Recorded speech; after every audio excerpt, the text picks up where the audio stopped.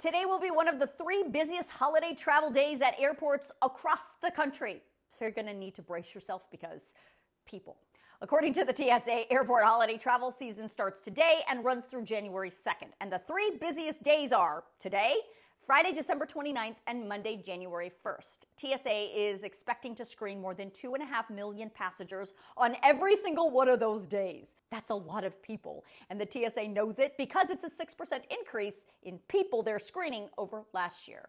Now, things won't be as crazy at the airports as they were during the 12 day Thanksgiving travel season, which, by the way, broke records for the most passengers ever screened in a single day.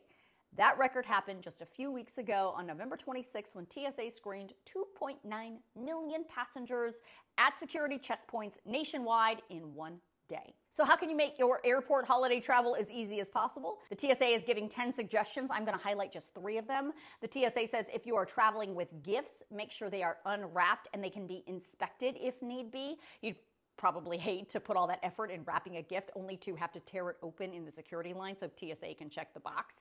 They also suggest when you're packing, make sure you start with an empty bag. That way you don't accidentally pack any banned items like pocket knives or flammable items. Speaking of what you can pack, remember there is a limitation on the amount of liquid you can carry on a plane.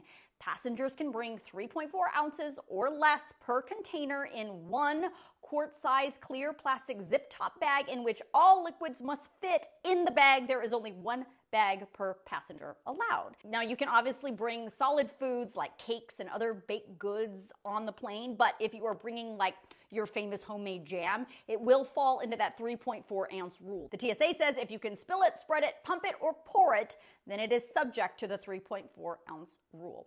Now, if you want to read all of the other seven tips the TSA gives, I will email them out to you tonight in my Newsgirl News Roundup email, so make sure you sign yourself up.